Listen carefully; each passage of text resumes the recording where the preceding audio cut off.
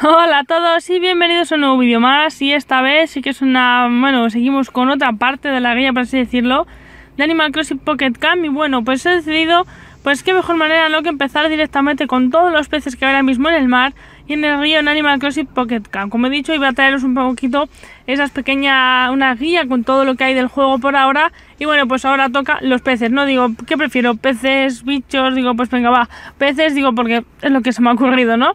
Entonces, bueno, como ya sabéis, en el Macrosis Pocket Camp, pues por supuesto podemos pescar, ya sabéis, tanto en la zona de la playa como en el río. Y por supuesto ya sabéis que hay varios tipos o especímenes, por así llamarlos, de peces en el que podemos pescar y repasaremos, y voy a repasarlos por ahora, y repasaré todos a continuación, ¿vale? Que lo podéis ver. Eso sí, un pequeño consejo que es bastante muy importante, ¿vale? Os recomiendo no vender nunca los peces, a no ser que necesitéis el dinero o estéis muy llenos el inventario, porque cuando nos los pida un campista la recompensa será mucho mayor que la que cuando nos solemos venderlo y es que es, hasta 10 veces eh, la cantidad mostrada en la siguiente tabla que os voy a poner.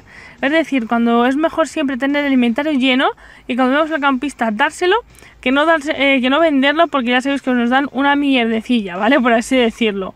Por supuesto vamos primero con los peces de mar o el océano y bueno como estáis viendo no es el primer pez que nos es el jurel que es el que más aparece ya que es muy común y como estáis viendo son 10 vallas lo que nos dan por ellos así que claro cuando nosotros somos un campista muchas veces cuando nos pide jurel nos da hasta 300 vallas o incluso mucho más, ¿no? Entonces siempre es mejor guardárnoslo y luego dárselo al campista. Por supuesto ya sabéis que, bueno, eh, os voy a decir el pez, el precio que es de venta normalmente, la aparición, el tamaño para que nos aparezca y por supuesto dónde se localiza, ¿no? En este caso, como es de mar, todos se encontrarán en la playa. Por supuesto, tanto el jurel como el calamar y el rodaballo son los que aparecen más comúnmente y por cada uno de ellos se darán 10 vallas. Me acuerdo yo que en el Animal Crossing New Leaf y en el de la Wii eh, pues directamente nos daban por jugar el 120, calamar casi 200 y el rodaballo nos daban casi 800 vallas. Os vais a imaginar cómo, qué poquito nos dan ahora, ¿no? Solo 10 vallas por cada uno. Y bueno, lo más importante es el tamaño, ¿no? Porque depende del tamaño que veáis del pececito, es decir, la figurita, la sombra, por así decirlo, si es el pequeño siempre os aparecerán jureles. Si son normales son calamares y si son ya de los grandes grandes, pues son rodaballos.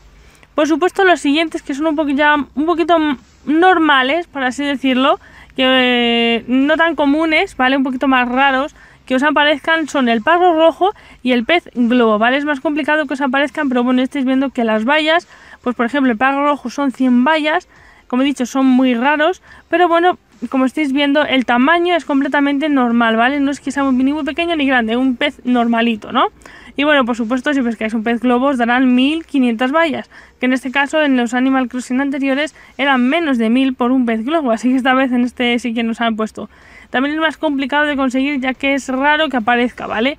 Y luego ya muy, muy, muy raro de que os parezca, porque es muy raro, ¿vale? En la playa, directamente tenemos tanto el pez balón o el peje sapo, como lo queréis llamar, y el atún. Por supuesto, el atún eh, es, por supuesto, tenéis que verle una sombra del pez muy grande, muy grande.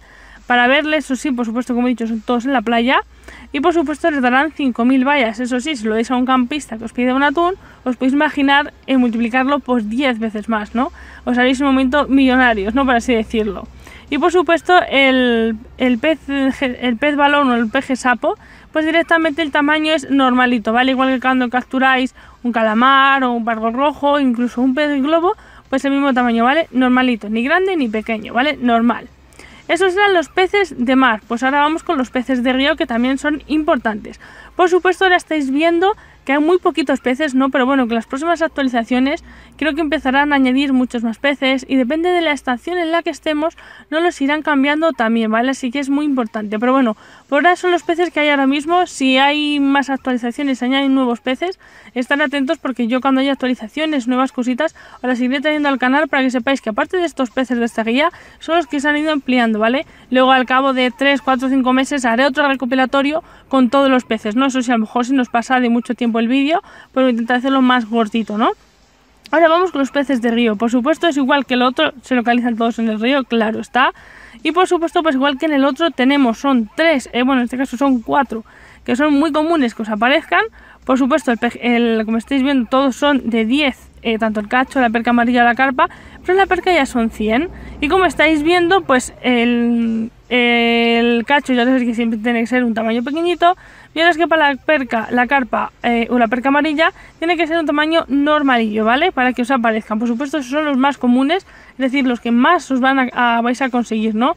Luego ya tenemos uno raro, raro, que yo todavía no he llegado a, pescar, ¿vale? Y el siguiente tampoco los he llegado a pescar, eh, los otros dos sí que los, demás los tengo todos, excepto el atún, el, el, atún de mar tampoco he conseguido, pero bueno, realmente la trucha arcoíris es muy raro que os aparezca, ¿vale? No es tan raro, a lo mejor tenéis un 20% de posibilidades, el tamaño es normalito, pero os podéis imaginar ya que es un poquito más complicado, ¿no? Yo todavía no lo he conseguido, y bueno, por supuesto el koi ya es muy, muy raro, y por supuesto el tamaño es normalito, ¿vale? Eso sí, son 4.000 vallas si lo vendéis, pero os he dicho un truco, eh, a no ser que necesitéis vender para tener más espacio en el hueco, e intentar no venderlos, ¿vale? Y dárselo a los campistas que os darán mucho más de recompensas. Y por supuesto, para terminar esta pequeña guía, para así decirlo, de peces eh, de mar y de río, pues unos pequeños truquitos para que podáis pescar mejor todos estos peces, ¿vale? Ya sabéis que si queréis pescar solo peces eh, caros, es decir, no vayamos a por los más pequeños, ¿no? Solo los peces medianos y grandes, como habéis visto, tienen posibilidades de que sean peces eh, muy bien pagados, por supuesto, en vallas. Otro truquillo es que si queréis ganar mucho dinero por un, eh, por un pez, ponerlo directamente a la, venta en, nuestro rastrillo, ya que allí el precio de venta será mucho mayor, aunque por supuesto el inconveniente es que tendremos que esperar a que otro jugador no lo compre. Y ya sabéis que los peces comunes aparecen con una frecuencia del 20 al 30%. Los raros son, y los raros y muy raros aparecen mucho menos ya que salen, como he dicho, con un 1% o incluso menos. Así que, pues para que lo sepáis, ¿no? Por supuesto, no os preocupéis que también os voy a traer próximamente eh, los tipos de redes para pescar en los ríos y en, los mares, ¿vale? Pero bueno, poquito a poco, ya que directamente estrenan los peces y no os quiero agobiar todo en un vídeo, ¿no? Así que no me quiero alargar nada más en este vídeo, seguir divirtiéndoos con este pedazo de juego y no os preocupéis que sacan, sacan nuevos eh, peces, lo que sea, próximas actualizaciones, lo tendréis en el canal sin ningún problema. No os preocupéis que esta guía de Animal Crossing Pocket Camp va a seguir aumentando poquito a poco y bueno, espero que os haya gustado eh, esta eh, primera parte, por así decirlo, de los peces de río y de mar. Y nada más, divertiros y nos vemos en los próximos vídeos. ¡Hasta luego!